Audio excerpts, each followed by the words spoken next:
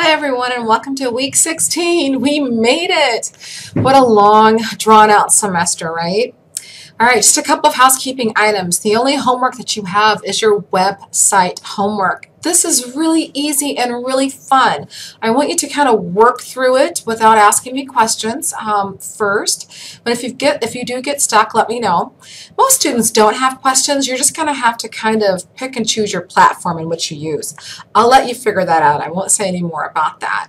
Next um, is if you didn't pass either your Excel or your Word and you are still um, wanting to take that, you need to go ahead and get that scheduled for this week. Um, keep practicing your GMetrix. Practice that and then go over and take that.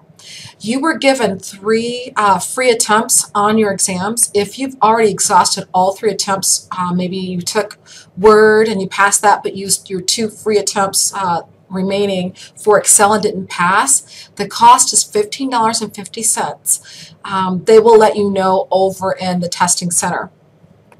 That's really it. I don't have any other homework for you. Um, it has been a great semester.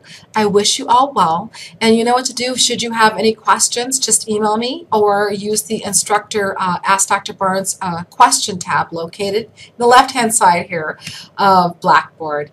Congratulations on finishing a course and have a wonderful break in between the semesters.